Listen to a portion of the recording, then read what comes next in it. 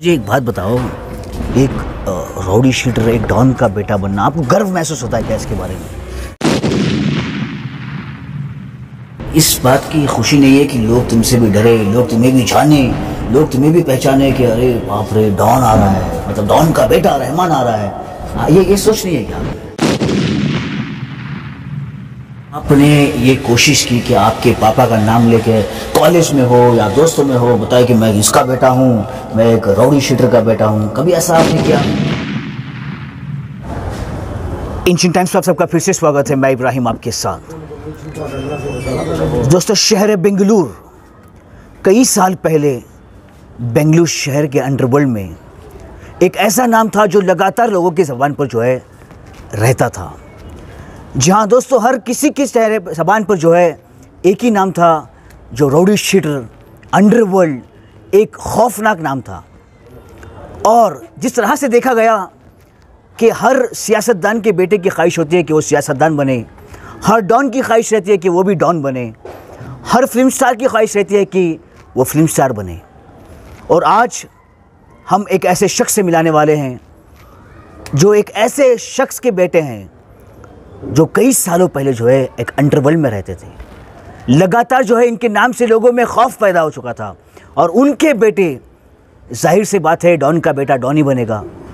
और लोगों को तो यही सोचते हैं कि डॉन का बेटा है, रोडी बनेगा, गुंडागर्दी करेगा, पैसा वसूलेगा लेकिन आज जो हकीकत हम आपको दिखाने वाले हैं, तारीफ़ काबिल है। एक मिसाल बन चुकी है शहर बेंगलुरु के लिए। बेंगलुरु के लोगों के लिए एक अलग ही एग्ज़ाम्पल बन चुका है। जहाँ दोस्तों मेरे साथ है अब्दुल रहमान जो हाजी तनवीर अहमद के जो है बेटे हैं। आइए इनसे बात करते हैं और जानेंगे ये क्या कहना चाहते हैं। भाई आपको मैं वेलकम करता हूँ हमारे चैनल पर एंशियन टाइम्स के लिए। जी शुक्रिया जी।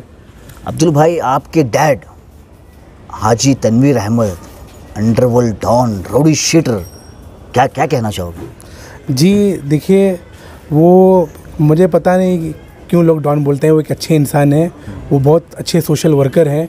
अगर वो सही में डाउन रहते तो अलहमदिल्ला उनके बच्चों को इतनी अच्छी तालीम नहीं देते, उनकी फैमिली को इतना अच्छा नहीं रखते। तो वो टाइम पे जो हालत थे, वो थे मगर अभी वो हमारे साथ हैं और अल्हम्दुलिल्लाह वो हमें अच्छी एडवाइस देते हैं और हमें गाइड करते हैं। तो अगर वो ऐसा कुछ रहता तो हम आपको रिज़ल्ट देखने में आता मगर अलहमदिल्ला एक आके मैं एम फिल कर रहा हूँ मेरी सिस्टर आके एमए कर रही है और मेरी अदर सिस्टर वो आके बेकिंग का कोर्स कर रही है और मेरा भाई जो हमज़ा है बैंगलोर का उनको मेरे डैड बहुत अच्छी स्कूल में पढ़ा रहे हैं। तो इधर से ही ज़ाहिर होता है लोग कहने से नहीं मगर हमको देखना चाहिए वो इतने बड़े सोशल वर्कर हैं और अलहमदिल्ला वो बहुत अच्छे आदमी एक राउडी शीटर एक डॉन का बेटा बनना आपको गर्व महसूस होता है इसके बारे में? जी गर्व मुझे महसूस होता है, क्योंकि वो एक अच्छे आदमी हैं, वो राउडी शीटर नहीं है, वो डॉन नहीं है। मुझे गर्व इसलिए महसूस होता है कि उन्होंने मुझे कुरान हाफिज़ बनाया। मुझे गर्व इसलिए महसूस होता है कि उन्होंने मुझे इतनी अच्छी तालीम दी। मुझे गर्व इसलिए महसूस होता है कि वो आज तक, अभी तक के मुझे सपोर्ट कर रहे हैं। मैं बोलता हूँ, डैड, मुझे एक जॉब का बोलते नहीं, पहले पढ़ लो, फिर तुम अच्छा जॉब करोगे। मुझे ये चीज़ पर बहुत गर्व महसूस होता है कि वो मेरे डैड हैं और अल्हम्दुलिल्लाह मुझे वैसे डैड नहीं मिलेंगे। तो तुम्हें इस बात की खुशी नहीं है कि लोग तुमसे भी डरे, लोग तुम्हें भी जाने? लोग तुम्हें भी पहचाने कि अरे बाप रे डॉन आ रहा है। मतलब डॉन का बेटा रहमान आ रहा है। आ, ये ये सोच नहीं है क्या आपने? नहीं वो सोच मुझे नहीं है। वो सोच मुझे क्यों होगी? मुझे इस से खुशी होगी कि लोग मुझे आके सवाल करेंगे जैसे आप मुझे सवाल कर रहे हो। क्योंकि डर एक दहशत इंसान में नहीं रहना चाहिए। डेमोक्रेसी में मैं बिलीव करता हूँ कि डेमोक्रेसी में हेल्थी डेमोक्रेसी में पता है आपको क्या है कि एक दूसरे से सवाल करने की आपको जब भी कोशिश करेंगे जब भी कोई आपको सवाल करेगा तो आप एक मतलब एक सही आदमी हो तो मैं मेरे डैड ने मुझे वो बनाया है। तो अल्हम्दुलिल्लाह मैं इतना केपेबल है क्योंकि जो मुझे सवाल करता है तो मैं उसका जवाब देता हूँ। ये डर मुझे नहीं है मुझे गर्व है कि मैं उनका बेटा हूँ और मुझे गर्व है कि लोग मुझे सवाल करने की ताकत रखते हैं अगर मैं गलत हूँ तो। कभी आपने ये कोशिश की कि आपके पापा का नाम लेके कॉलेज में हो या दोस्तों में हो बताए कि मैं इसका बेटा हूँ मैं एक राउडी शीटर का बेटा हूँ? कभी ऐसा आपने किया? मुझे वो करने की ज़रूरत पड़ी नहीं और मैं ऐसा करूँगा भी नहीं क्योंकि वो सोसाइटी के लिए भी अच्छा नहीं है और मेरे लिए भी अच्छा नहीं है क्योंकि जितनी भी इज़्ज़त मैंने और मेरी डैड ने कमाई वो उस पर फ़र्क पड़ेगा और वो मॉरली भी अच्छा नहीं है और अनजस्टिफाइड है वो। नहीं करना चाहिए। अब्दुल मुझे एक बात बताइए आप इतनी आपके डैड की सपोर्ट कर रहे हैं आपकी दाद की बातें कर रहे हैं आपके डैड ने आज आपको क्या पढ़ाया है? क्या क्या इल्म है आपका? वो मुझे हर चीज़ में उन्होंने इल्म दिया। उनका सबसे पहले उनका सपना था कि मैं अल्हम्दुलिल्लाह कुरान हाफिज़ बनूं। तो वो उन्होंने अभी तक वो मुझे मतलब अभी तक सपोर्ट कर रहे हैं। अभी तक के I am twenty seven years old till now and मेरे एजुकेशन में, जैसा पीएचडी करूँ मैं, जो मैं करना चाहूँ वो तो इतना सपोर्ट करे वो मुझे अभी तक के और दूसरे मैटर्स भी सोशल एक्टिविटीज़ में भी मुझे सपोर्ट करते हैं। तो ज़ाहिर सी बात है, हम उनको भी सपोर्ट करेंगे क्योंकि उन्होंने हमारे लिए इतना किया। वो नहीं चाहते कि उनकी लाइफ जैसी स्ट्रगलिंग थी, वैसी हमारी हो। अब अब क्या क्वालिफिकेशन क्या है आपका? जी मैं अभी सर पी एम फिल मैंने ख़त्म किया एमए किया और उसके बाद मैंने सॉफ्टवेयर इंजीनियरिंग भी की एच के साथ। अभी आके सर मैं पी एच डी का एंट्रेंस दे रहा हूँ और पी एच डी के लिए प्रिपरेशन कर रहा हूँ sir. U G C NET भी दे रहा हूँ। तो मेरा दो एम है सर। एक आके पी एच डी क्लियर करने का और एक U G C NET clear करने का क्योंकि एज फॉर सुनेस मेरा U G C NET clear होगा मैं प्रोफेसर होऊँगा और मेरा इंटरेस्ट रिसर्च में है। तो मुझे आई आर के ऊपर रिसर्च करना बहुत पसंद है इंटरनेशनल रिलेशंस के ऊपर। अपना खुद का यूट्यूब अपना खुद का यूट्यूब चैनल भी मैं ओपन किया हूँ तो उसका नॉलेज वर्ल्ड बोल के है चैनल और अभी मतलब मुझे बहुत ख्वाहिश थी मेरे डैड की भी ख्वाहिश थी क्योंकि मुझे एक न्यूज़ चैनल मुझे खोलना था क्योंकि मैं जो जर्नलिस्ट हैं जैसे रविश कुमार हो अदर जर्नलिस्ट है तो मैं उनसे बहुत इंस्पायर्ड हूँ तो मुझे खुद का खोलना था। तो नियो टी मैंने डेवलप किया है।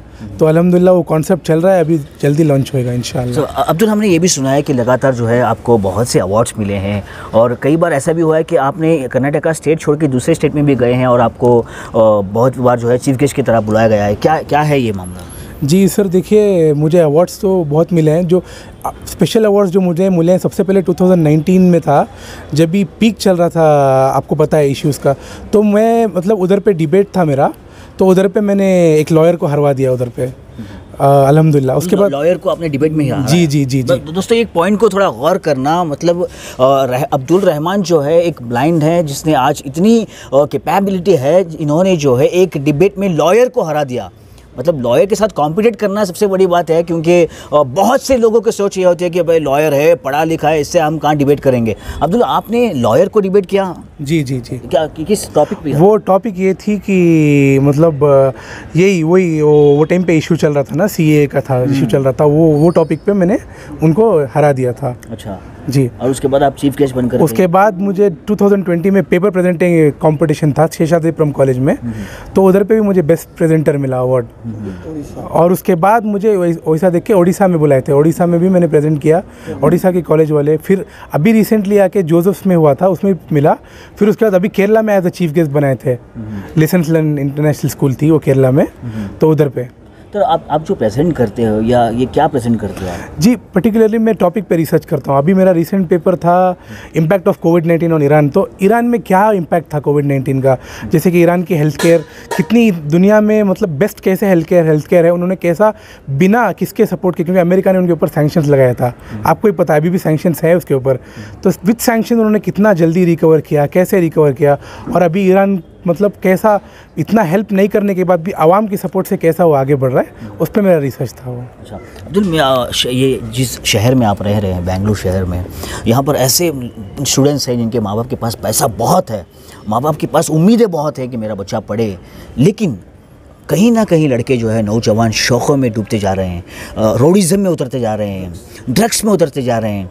और आप एक ऐसे शख्स हो जो आज जो है, एक यूथ के लिए इंस्पिरेशन हो।